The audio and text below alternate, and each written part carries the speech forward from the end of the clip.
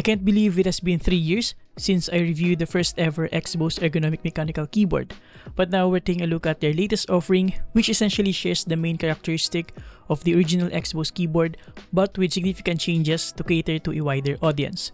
It still features X-Bows's own ergonomic split layout, but it now offers standard keycap sizes, hot swappable switches, and wireless mode, all in a crystal clear acrylic construction. With that being said, let's get into it. Before we start, the background of choice is the Keep of Power desk mat from ZigMats PH, designed by Input Universe.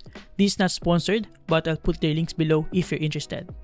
The packaging for the X-Bows Crystal is pretty good, a decent quality black box. Upon opening the box, you'll see a sort of slogan of X-Bows here, a nice foam cover, the X-Bows Crystal itself, a white coiled cable, a working cup puller, and a switch puller. At first look and touch, you might think that this one features the popular Arisu layout, but if you look closely, it is actually quite different.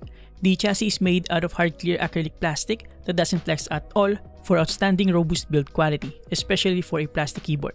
It weighs roughly around 1.3 kilograms. Now, the X-Bows ergonomic layout features a combination of ortholinear and Arisu layouts with some additional keys at the center and a few other differences including a longer right shift key and instead of a right backspace, we have a delete key.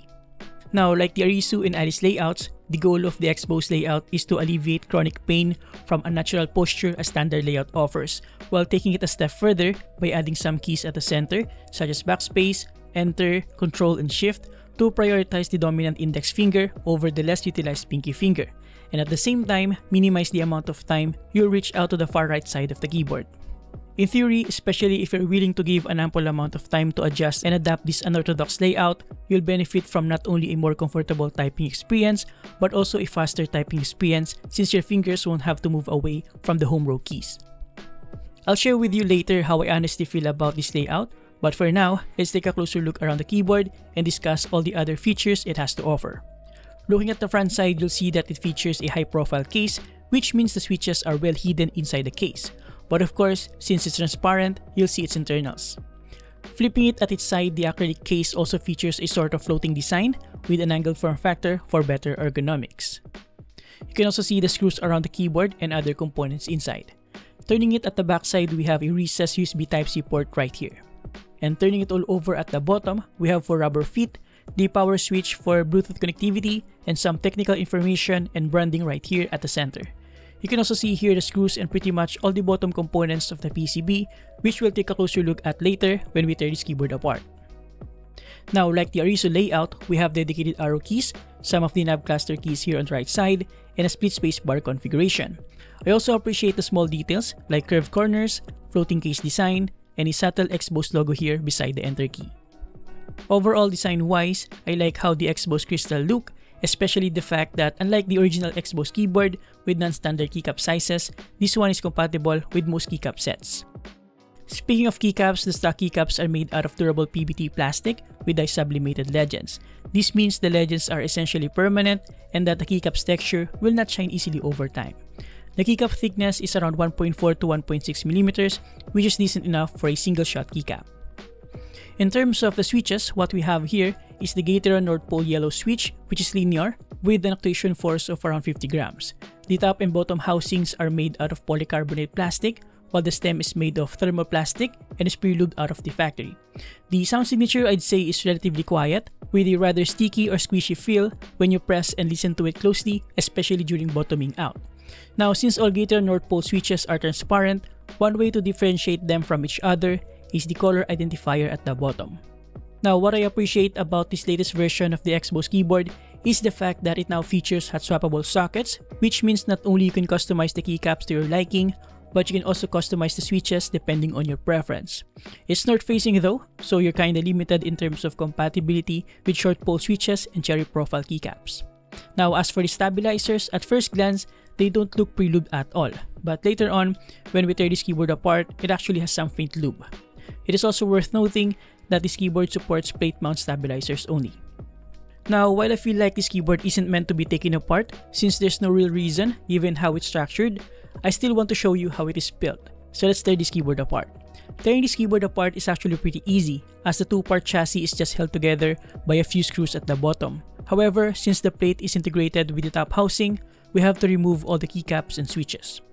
By the way, this keyboard features an integrated plate mount design, which means the plate is integrated with the top housing, essentially giving you no flexibility at all when it comes to the material used and just limited to the acrylic plastic for your plate. This offers a very stiff and solid typing experience. Now, here's a closer look at the stock plate mount stabilizers. Barely lubed, right? Next, we have the PCB, and as you can tell, we don't have any kind of foam here, and the PCB doesn't support screw-in stabilizers as I've pointed out earlier. Under the PCB, we have the 3000 mAh battery still attached. I actually had a hard time removing the wire of the battery from the PCB since one, the socket is quite flimsy and feels like it can get damaged very easily. And second, the plug is really hard to pull out that I almost damaged the wire so I figured it's not worth it. Anyways, the hot swap sockets are made by Kailh and like I said, we don't have any kind of foam here. Looking closer, the stabilizers actually have some pre-applied lubricant. However, it's super faint that left me wondering why they even bothered. Overall, the teardown process is fairly easy except for the battery and like I said, I don't think there's a need for you to open this keyboard at all. Now here's a sound test for you guys so you can have a bit of an idea how the Gateral North Pole yellow switches sound on this full acrylic casing.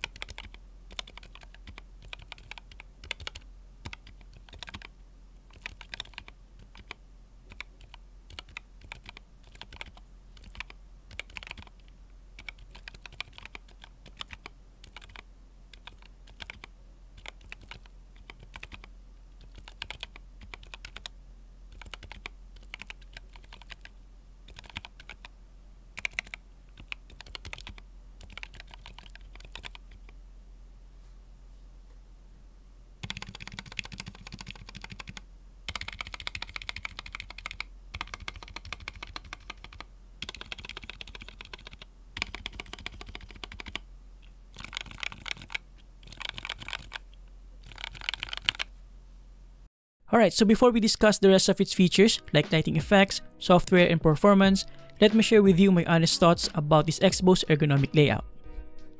Usually, my average typing speed is around 90 words per minute, but as you've seen on the typing test, I was only able to reach around 50, and that is due to the unorthodox layout. Adapting to this layout requires patience, dedication, and a lot of time, and it will definitely mess up your muscle memory. If you choose this keyboard, make sure you are ready to let go of what you're used to when it comes to typing. With that said, I can still see the potential of this for those people who really want to learn touch typing and embrace this ergonomic layout and for sure will get the benefits of a more comfortable typing experience. However, I think I can also say the same when it comes to the standard Alice or Arisu keyboards or even split keyboards with essentially the same goal but without the compromises of having to adapt to a new layout, especially having to adjust the way you reach the backspace and enter keys, not to mention the ortholinear alphanumeric keys. So yeah. Now, thanks to the clear acrylic casing, clear switch housing, and white colored PCB, the RGB illumination of this keyboard is quite vibrant even though the keycaps are not shine through. Here, let me breeze through all the different lighting effects here.